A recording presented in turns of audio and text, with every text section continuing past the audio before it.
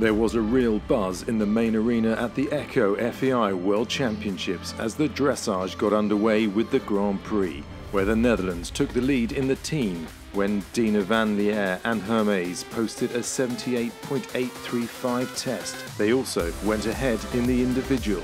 Defending champions Germany were just behind the Dutch. Benjamin Werndl and Famoso Old backed up Ingrid Klimke's debut dressage championship ride. Werndl scoring 77.003% to go into second individually. The host nation pushed hard for the overnight bronze position, Sweden on their heels all the way.